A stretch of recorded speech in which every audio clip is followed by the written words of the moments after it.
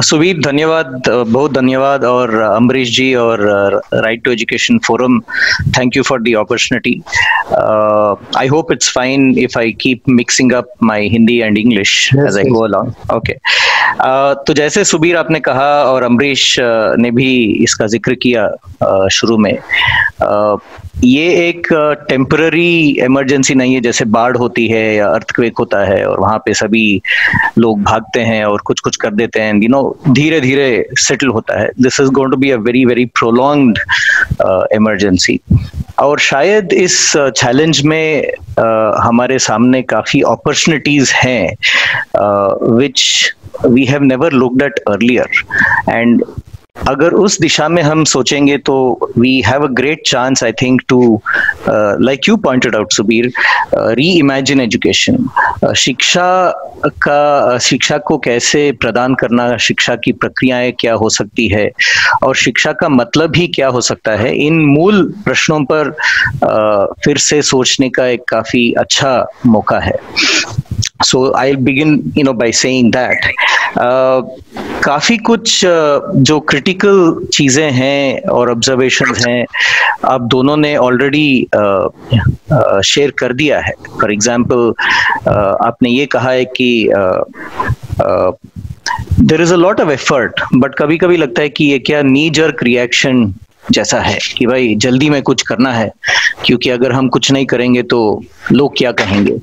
सो so, uh, एक तरफ़ से we are scrambling for a response but then we need to इसमें कुछ uh, इस मैडनेस में अगर मैं उस शब्द का इस्तेमाल करूँ we need to you know look for some methods we need to look for some strong reasons as to why we are doing what we are doing and so on तो मेरे जो शेयरिंग है मैं दो तीन हिस्से में करना चाहता हूँ। एक uh, सबसे पहले मैं ये uh, यहाँ से शुरू करना चाहूँगा कि as you know part of UNICEF in Chhattisgarh, uh, what are the few things that we're trying to do uh, जो हम गवर्नमेंट ऑफ़ छत्तीसगढ़ के साथ कर रहे हैं।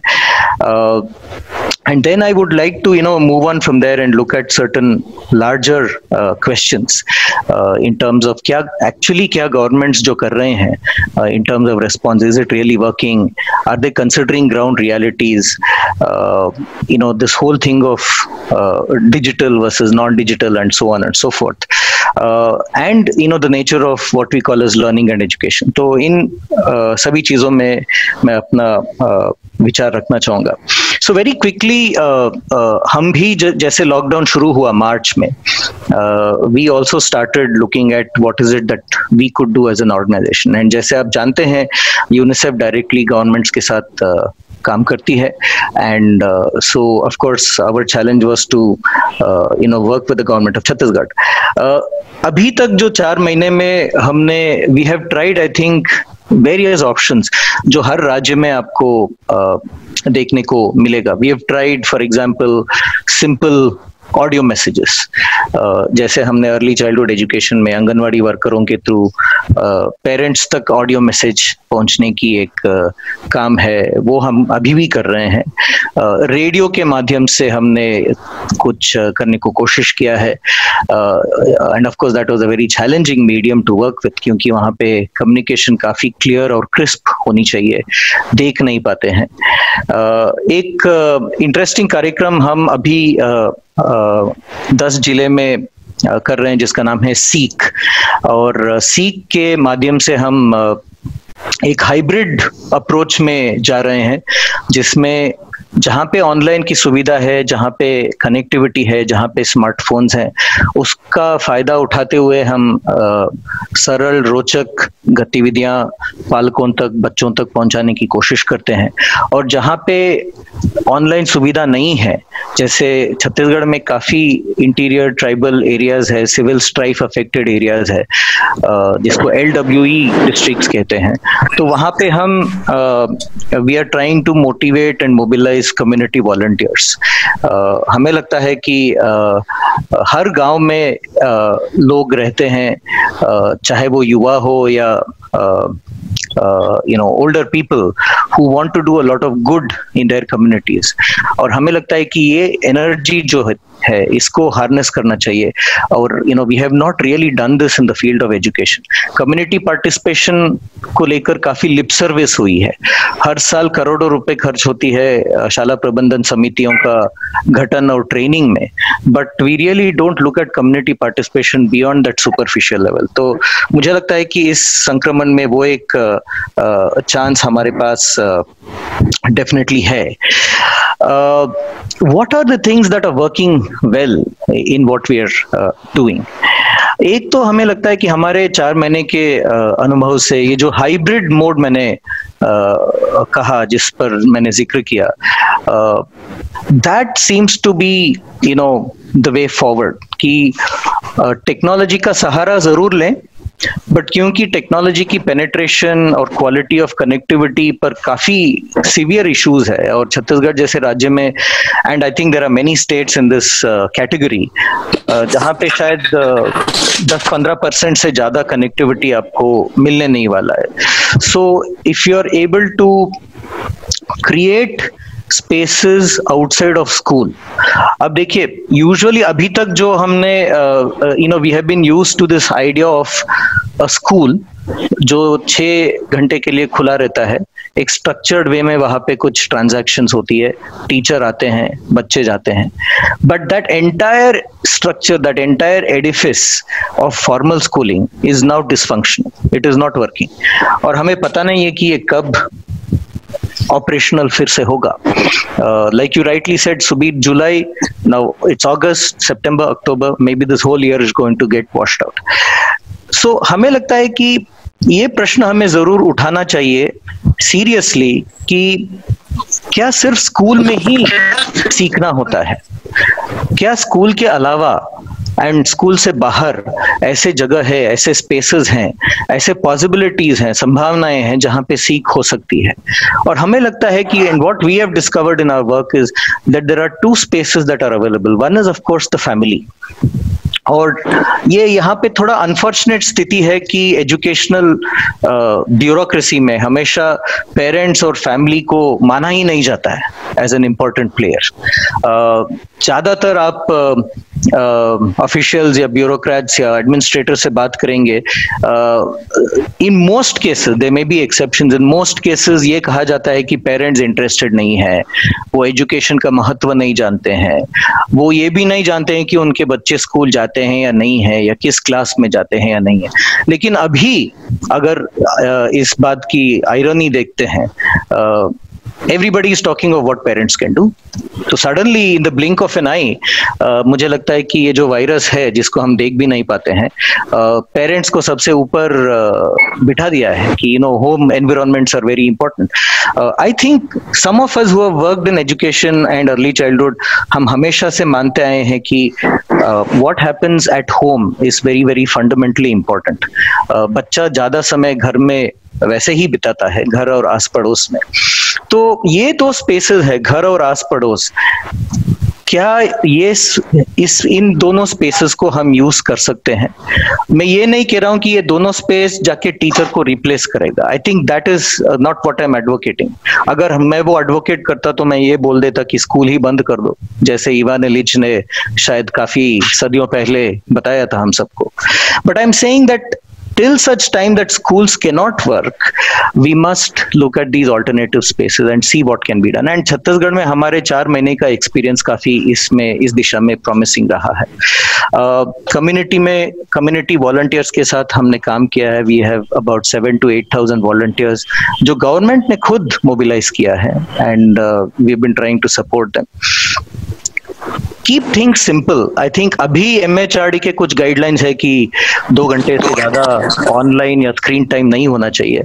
So therefore the nature of the activity has to be simple it has to be easily understood by the child अगर आप online uh, mode से कर रहे हैं एंड uh, uh, एक पॉसिबिलिटी मुझे जो नज़र आ रहा है हमारे एक्सपीरियंस से कि वो है डिसेंट्रलाइज्ड डिसीज़न मेकिंग का, एक लोकल लेवल पर डिसीज़न मेकिंग करने की जो क्षमता हमेशा होती है और उसको हमने ज़्यादातर इग्नोर किया है।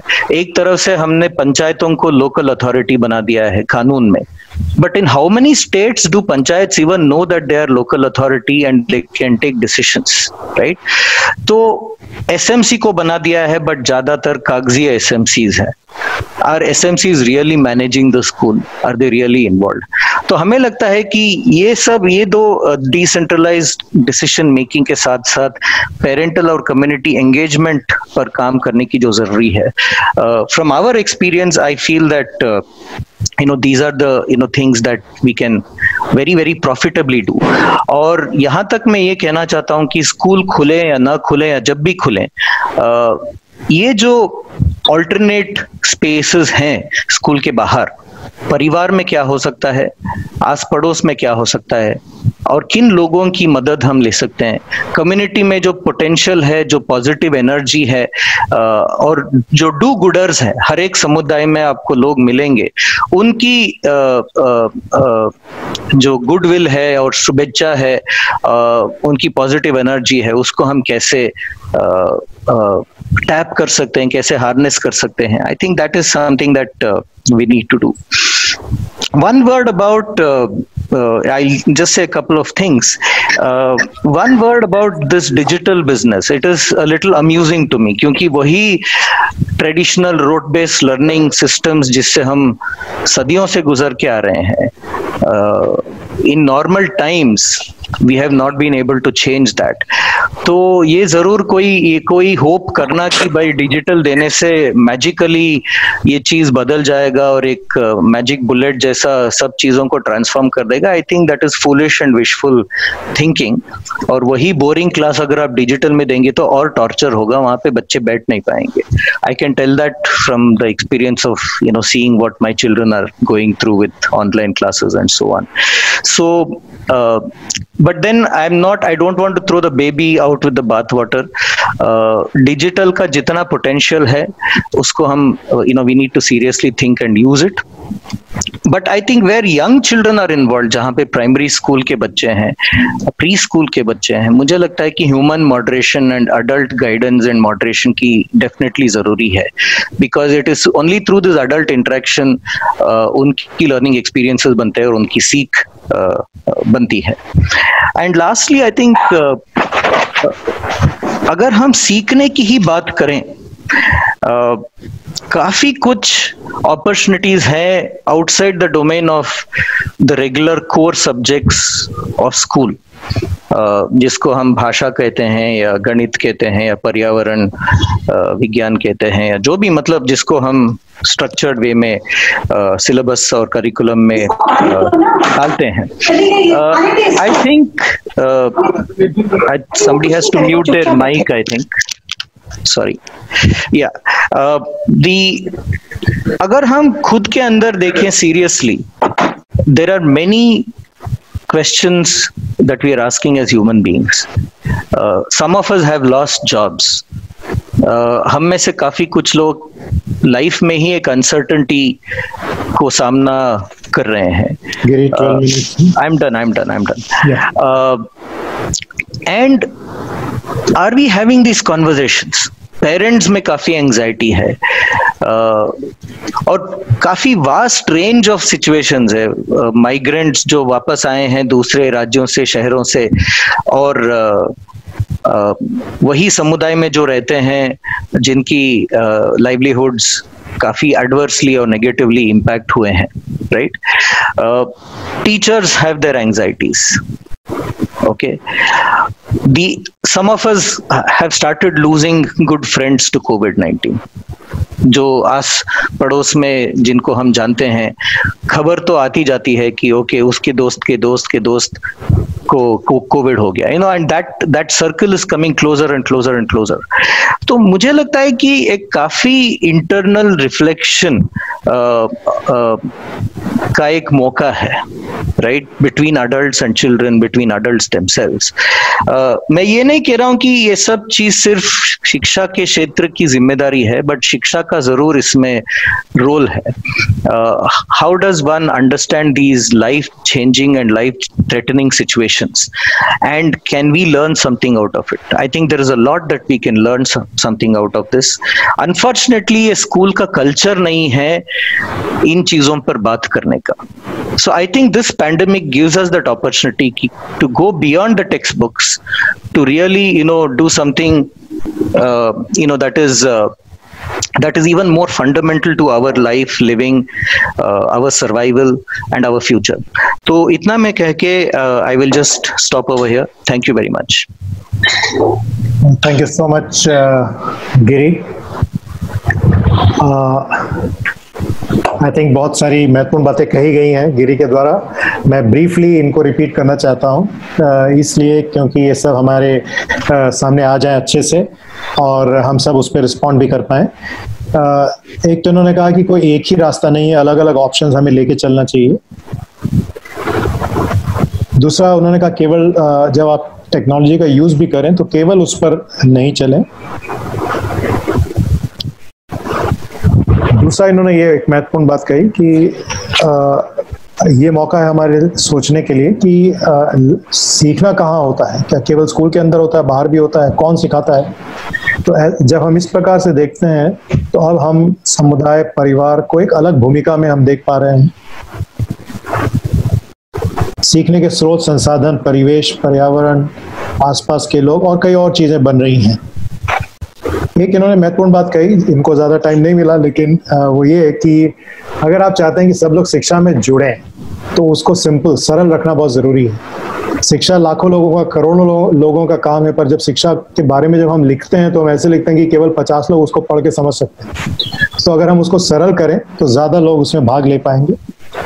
विकेंद्रीकरण डिसेंट्रलाइजेशन पे इन्होंने काफ़ी ज़ोर दिया कि हमें लोगों पे विश्वास करना पड़ेगा। हमें मानना पड़ेगा कि वो सच में अपने बच्चों का हित चाहते हैं और हमारी मदद के सहारे वो सच में कुछ कर पाएँगे। और लास्टली इन्होंने जो बहुत महत्वपूर्ण बात उठाई कि शिक्षा का काम केवल ये नहीं है कि बच्चों को परीक्षा में पास करवा देना। हमारी ज़िम्मेदारी समूचे बच्चे की, उसके परिवार की है और उनका जो मानसिक, सामाजिक और भावनात्मक पहलू है, उस पर भी है। तो इसीलिए अगर हम साइको सोशल एस्पेक्ट्स जो भावनात्मक, सामाजिक पहलू हैं, उस पर भी ध्यान दें तो हम वास्तव में बच्चों की मदद कर पाएँगे। तो ये कुछ बड़ी प्रमुख बातें हैं जो शिक्षा में नई दिशा के बारे में हमारी बातें यहाँ पे निकल कर आ रही हैं। कुछ छोटे छोटे सवाल आए मैं चाह रहा था एक दो छोटे सवालों पे हम लोग बात कर लें और फिर हम थोड़े बड़े सवालों पे आएँगे। हम मान के चल रहे हैं हमारे पास कम से कम पंद्रह मिनट का टाइम और है। आ, तो एक ये किसी ने पूछा कि आई थिंक नम्रता जी की स्टडी में आया था और ये मैं तीनों स्पीकर से पूछ रहा हूँ क्या बच्चे स्कूल में नहीं है बच्चे घर में खेल रहे हैं तो क्या खेलना उनके लिए उपयोगी नहीं है? तो खेलने से क्या है वो सीखते नहीं है? खेलना कोई बुरी बात है क्या? हम लोग खेलने को लेके इतने चिंतित क्यों है? What do you think? Yeah, Subir, I mean, if I uh, yes. can I respond to that?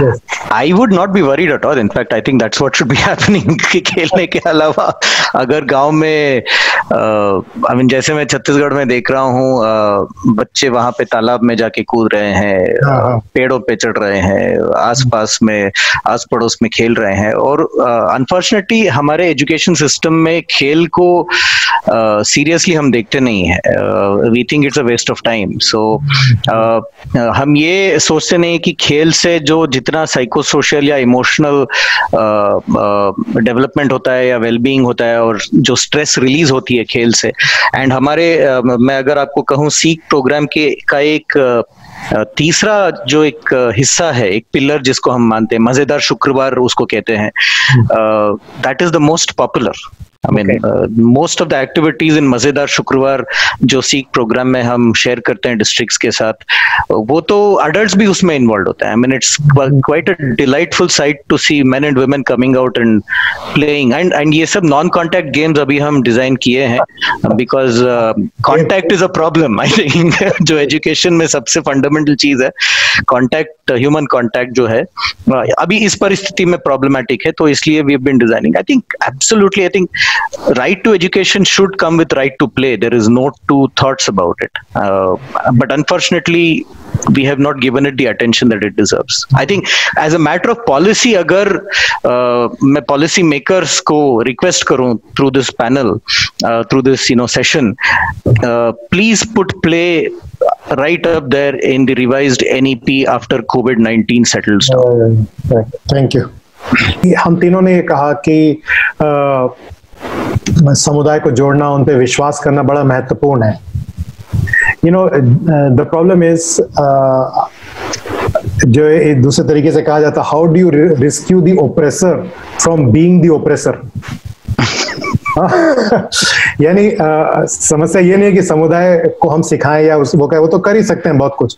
लेकिन जिनकी ज़िम्मेदारी है कि वो समुदाय तक पहुँचे, जो उनको जगह दें, उनको सोचने का मौका दें। डिसेंट्रलाइजेशन का मतलब है, किसी को अपने आप से कुछ कम करके दूसरे के लिए छोड़ना है।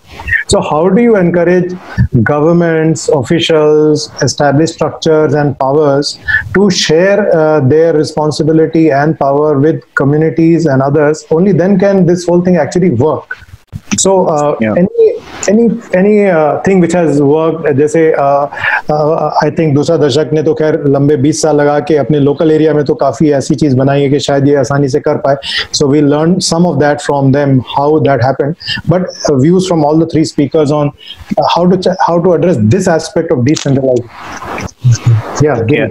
yeah very quickly i um, एक पॉइंट uh, मैं ये कहना चाहता हूँ कि uh, हम कानून तो बना देते हैं नीतियाँ बना देते हैं but you know we don't think much after that तो चैप्टर थ्री अगर हम पढ़ेंगे राइट टू एजुकेशन एक्ट का तो उसमें एक पूरा सेक्शन दिया हुआ है, एक पूरा लगभग एक पूरा पेज ही है panchayat says local authority within right to education मैं यकीन से ये कह सकता हूँ कि I think most of India we have not operationalize that idea we have not even given it the serious thought that it deserve यहाँ तक उसमें कानून में लिखा हुआ है कि that the panchayat are empowered to decide on a local school calendar which nobody allows because you know people within bureaucracy or administration are perhaps uncomfortable with the mm-hmm. idea of so much of diverse decision and decentralized decision making and they would think कि भाई ये क्या करेंगे लोग हर एक पंचायत में अलग अलग टाइम पे स्कूल खोलें अलग अलग सेशन में स्कूल खोलें तो I think somewhere we have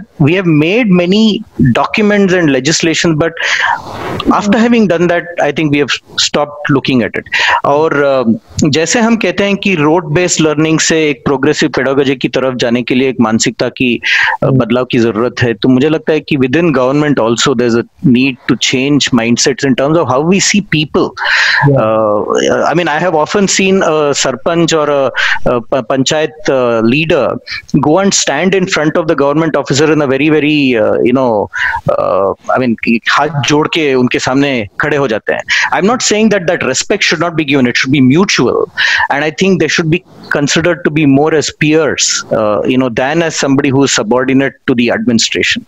Uh, and एक लास्ट पॉइंट ऑफ़ कोर्स ये है कि संक्रमण के दौरान हमने देखा है कि जब ये टोटल सिस्टम ऑफ़ स्कूलिंग अभी लगभग कोलैब्स है या डिसफंक्शनल है कितने सारे कम्युनिटी लेवल पे Uh, जेनरेटिव एक्टिविटीज़ हुए हैं और you know where parents have come forward community volunteers have come forward teachers themselves have come forward I think doing things that they have never done before क्योंकि अब तो एक vacuum जैसा हो गया तो उस वैक्यूम में फिल अप करने के लिए काफ़ी इंटरेस्टिंग uh, एक्सपीरियंसेस हम देख देख रहे हैं अभी। Uh, we have another few minutes to go and uh, uh, मैं देख रहा हूँ बार बार कुछ पेरेंट्स ये सवाल उठा रहे हैं कि uh, हमारी जो फ़ीस है उसका क्या होगा? Uh, ये मुद्दा हम इसलिए नहीं ले रहे थे क्योंकि uh, एक larger structural point of view से देखें तो बच्चों के सीखने में बहुत सारे पहलू हैं। Uh, लेकिन ये मुद्दा है uh, मुझे लगता है इस पे आई विल रिक्वेस्ट पैनलिस्ट की आप इस पे थोड़ा बोलिएगा। तो मैं दो क्वेश्चंस आपके सामने रख रहा हूँ। और हर एक से हम इन दोनों के बारे में सुनेंगे उसके बाद ही हम बंद करेंगे। सो uh, so, पहला क्वेश्चन तो ये है कि uh, ये जो मुद्दा अभी हो गया है कि uh, बहुत सारे जो प्राइवेट स्कूल्स हैं जो शायद खुद बंद होने की कगार पर हैं। वो पेरेंट्स से फ़ीस मांग रहे हैं और पेरेंट्स जो खुद बेरोजगार हो चुके हैं वो फ़ीस नहीं दे सकते या कम दे सकते हैं। सो so, इस मुद्दे के बारे में अगर आप लोगों को कुछ कुछ भी कहना हो whatever your views that be and again शायद ये डिसेंट्रलाइजेशन से इस तरीके से जुड़ा है कि अगर पंचायतों के हाथ में कुछ चीज़ें होती हैं और हमारे स्थानीय जो uh, अभिमन्यु सर सामुदायिक स्कूल बोल रहे थे वो स्कूल ऐसे होते जहाँ पे बच्चों को अच्छी शिक्षा मिलती तो शायद ये फ़ीस वाले मुद्दे पे हम लोग बात ही नहीं कर रहे होते तो बट नेवरदलेस इस पे I request everyone to speak there a second equally important question और ये हमारे लिए बड़ा ज़रूरी है। Uh, अगर आपसे कोई स्टेट गवर्नमेंट कहती है कि अभी हम क्या करें बताओ जो हम नहीं कर रहे हैं। कोई हमें ऐसी कम से कम दो चीज़ें बताइए जो हम तेज़ी से कर सकते हैं जिसका जल्दी कुछ रिज़ल्ट मिल सकता है और कम से कम एक चीज़ बताइए जो थोड़ा लंबे समय के लिए हो। तो what is your top most suggestion and आप किसी की बात को रिपीट कर सकते हैं दैट इज़ फाइन उससे हमको पता लगेगा कि वो कितना ज़रूरी है। What we are looking for is अगर मैं सरकार में होता तो मैं आपसे निश्चित पूछता ही कि ठीक है, आपने बहुत बोल दिया, ये खराब है, वो खराब है, आप करना क्या है बताइए। तो क्या करना है आपके अनुभव के अनुसार? जो ऑलरेडी आप कर रहे हैं उनमें से कौन सी चीज़ें हैं जो सच में अगर दो ही चीज़ें होती कौन सी दो चीज़ें होती जो मुझे अगले चार पाँच महीने में कुछ रिज़ल्ट दिखाती और कौन सी एक चीज़ ऐसी होती जो कम से कम एक दो साल में मुझे कुछ रिज़ल्ट दिखाती? इसके बारे में आप क्या कहते हैं? सो फ़ीस प्लस सरकारों को क्या करना चाहिए? इसके बारे में। तेज़ी से हो जाए। You want to start Giri या ओके या okay so I think I take the second one first because तो उसमें शायद दो तीन चीज़ मैं कहना चाहूँगा। एक आई थिंक डिजिटल इनिक्विटी को कैसे ब्रिज किया जा सकता है, कैसे कम किया जा सकता है that should be a serious policy concern I mean it ranges from things like Uh, devices to connectivity affordability and so on and so forth. So mujhe lagta let us not throw that out. Uh, let us you know see how we can you know bring that in. And we would want to see more of this being talked about in the national education policy than you know than we have probably put in there at this point of time.